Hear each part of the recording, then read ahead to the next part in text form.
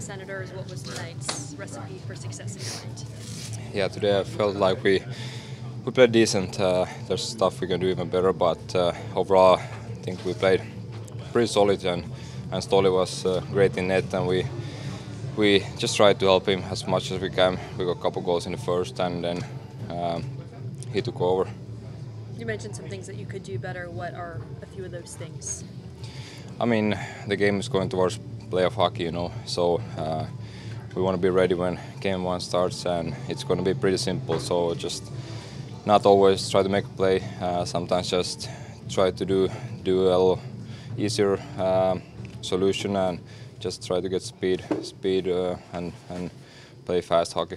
You've been very impactful, especially as of late. What has been working so well for you?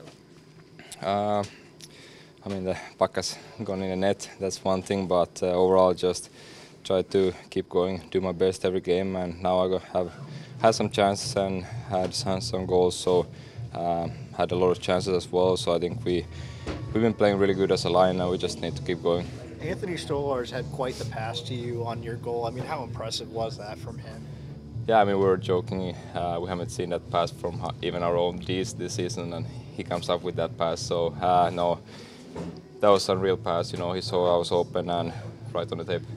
Mean, how, how uh, helpful is it to have a goalie like that who can whip the puck around? I mean, he's very involved in getting plays set up and making passes like that.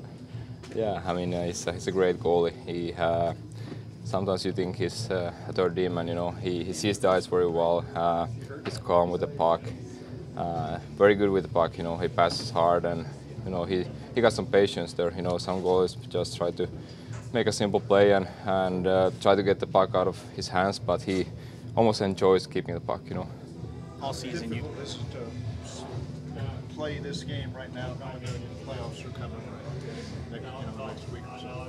It's very important, you know. Every game is huge, you know. Uh, yeah, it starts next week. That tells everything. You know, we we're very excited. We know and remember very well last year. Uh, it's not going to be easy. Every game is uh, is a war. It's a battle. So uh, it's it's just good to mentally start preparing for that.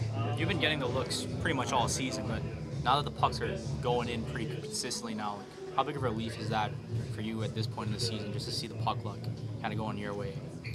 Yeah, I mean, uh, of course, I want to be best when the big games start, and that's next week. So uh, just trying to do everything I can uh, every every game and try to play as as good as I can in every game, and not try to, you know, uh, let my game change too much or or you know if I have a, have a little bad game. Uh, I want people not to even see it, you know, to just keep uh, playing consist- consistently. Yeah. Thank you. Thank you.